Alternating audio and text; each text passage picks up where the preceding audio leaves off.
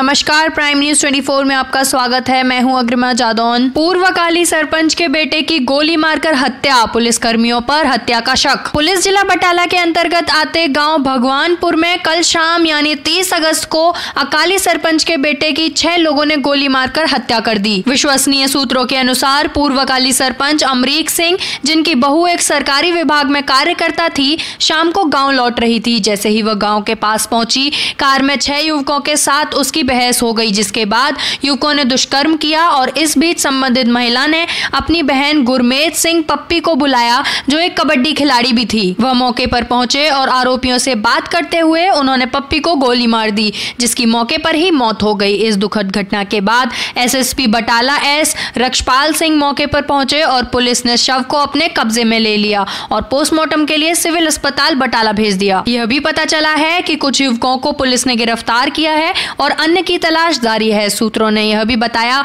कि जिन लोगों को गोली लगी है उनमें से छह शादी पार्टी से आ रहे थे जिसमें से पांच पुलिसकर्मी बताए जा रहे हैं जो अमृतसर जिले के थे जबकि एक निजी व्यक्ति था प्राइम न्यूज 24 के लिए जतिंदर कुंडल की रिपोर्ट ਡਾਕਟਰ ਸਾਹਿਬ ਆਹ ਜਿਹੜੀ ਇੱਕ ਮੌਤ ਹੋਈ ਹੈ ਫਾਇਰਿੰਗ ਨਾਲ ਕਿੱਥੋਂ ਦੀ ਹੈ ਕੀ ਸਾਡੇ ਕੋਲ ਹਸਪਤਾਲ ਸਮਾਂ ਤਕਰੀਬਨ 8:30 ਵਜੇ ਇੱਕ ਮ੍ਰਿਤਕ ਲਾਸ਼ ਨਾਮ ਗੁਰਮੇਲ ਸਿੰਘ ਪੁੱਤਰ ਅਮਰੀਕ ਸਿੰਘ ਵਾਸੀ ਭਗਵਾਨਪੁਰਾ ਲੈ ਕੇ ਆਏ ਨੇ ਪੁਲਿਸ ਥਾਣਾ ਕੋਟਲੀ ਸੂਰਤ ਮੱਲੀ ਦੇ।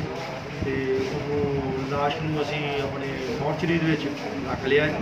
ਤੇ ਜਦੋਂ ਪੁਲਿਸ ਪੇਪਰ ਲੈ ਕੇ ਆਏਗੀ ਮਾਰਨਿੰਗ 'ਚ ਉਹਨਾਂ ਦਾ ਪੋਸਟਮਾਰਟਮ। ਕਾਰਨ ਕੀ ਦੱਸ ਦਾ ਜੇ ਪ੍ਰਤੱਖ ਨਜ਼ਰ ਦੇ ਨਾਲ ਤੇ ਜੋ ਪੁਲਿਸ ਦੇ ਮੁਤਾਬਕ ਵੀ ਕਾਗਜ਼ਾਂ ਮੁਤਾਬਕ ਵੀ ਲਾ ਕੇ ਕਹਿ ਰਿਹਾ ਹੈ ਕਿ ਇਹਨੂੰ ਗੋਲੀ ਚੱਲਣ ਦੇ ਨਾਲ ਮੌਤ ਹੋਈ ਆ। ਬਾਕੀ ਮੌਤ ਦਾ ਪ੍ਰਤੱਖ ਕਾਰਨ ਤੇ ਆਪਾਂ ਪੋਸਟਮਾਰਟਮ ਦੀ ਰਿਪੋਰਟ ਤੋਂ ਹੀ ਪਤਾ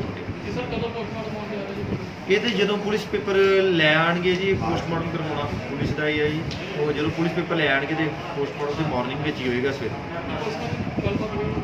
ਨਹੀਂ ਜੀ ਉਹਨਾਂ ਨੇ ਇੱਕ ਰਿਕੁਐਸਟ ਲੈਟਰ ਦਿੱਤੀ ਹੈ ਜੀ ਡੈੱਡ ਬੋਡੀ ਰਖਾਉਣ ਲਈ ਤੇ ਜਿਹਨੂੰ ਅਸੀਂ ਅਲਾਉਡ ਕਰਕੇ 8:30 ਵਜੇ ਸਮਾਂ ਅਸੀਂ ਆਪਣੇ ਮੋਰਚਰੀ ਸਿਵਲ ਹਸਪਤਾਲ ਬਟਾਲਾ ਦੇ ਵਿੱਚ ਆਪਾਂ ਡੈੱਡ ਬੋਡੀ ਨੂੰ ਜਮ੍ਹਾਂ ਕਰ ਲਿਆ।